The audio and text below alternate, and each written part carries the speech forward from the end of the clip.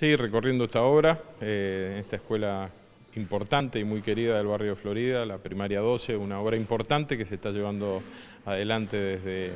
una decisión de trabajo conjunto entre la comunidad,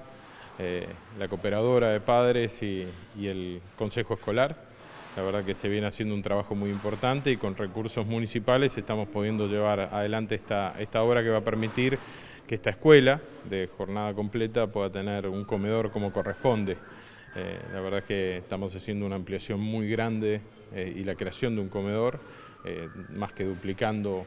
un área y una superficie muy importante, preparando la cocina, eh, con, mesadas, con buen equipamiento para que los chicos puedan recibir la mejor alimentación. Muy contentos en esto, ¿no? que haya un buen diálogo, que podamos ir poniendo las prioridades juntos, que podamos ir sumando los recursos, que a veces más que sumarse se multiplican al trabajar alineados y la verdad que poniendo en el centro los chicos. En tres semanas, cuatro está terminada y ya para el inicio de clases estaríamos en condiciones de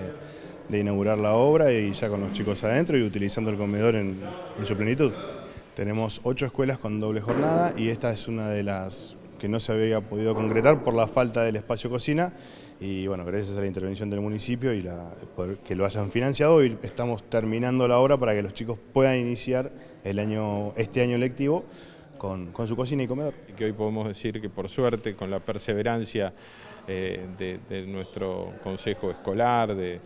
Jaime, de todos los que han venido trabajando, esta obra está en marcha, así que nos vamos a dar el, gusto seguramente de venir a visitar a los chicos disfrutando de estas instalaciones y, a compartir los nuevos desafíos, porque esto seguramente no termina acá.